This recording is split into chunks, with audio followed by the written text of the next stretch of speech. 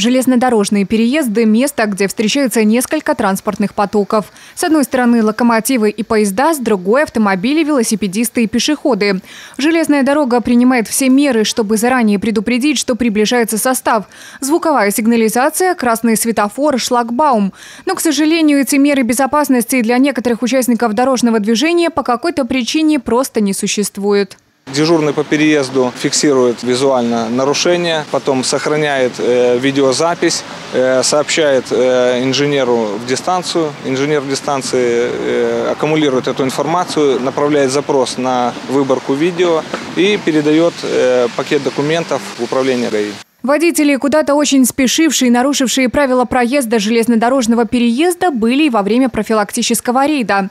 Эти нарушения, зафиксированные камерой слежений, будут отправлены на рассмотрение в управление ГАИ. Где вы должны остановиться вот при подъезде к железнодорожному переезду? Возле стоп-линии, Если она отсутствует, возле шлагбаума. возле... Ну, есть шлагбаума нету. Ну вот, примерно шлагбаум, правильно? Возле шлагбаума. Если нет стоп-линии, то как бы перед, где вот стоят белые вот эти фишки перед переездом.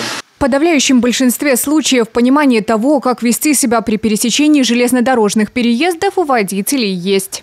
Бросить скорость, аккуратно посмотреть по сторонам, даже хотя бы если светофор и шлагбаум, надо все равно проверить. Стопроцентное внимание в первую очередь.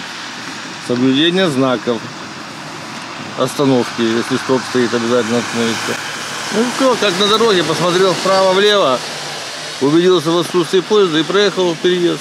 Штраф за нарушение правил пересечения железнодорожных переездов довольно велик. За нарушение правил проезда железнодорожного переезда предусмотрена административная ответственность в виде штрафа от 2 до 4 базовых величин.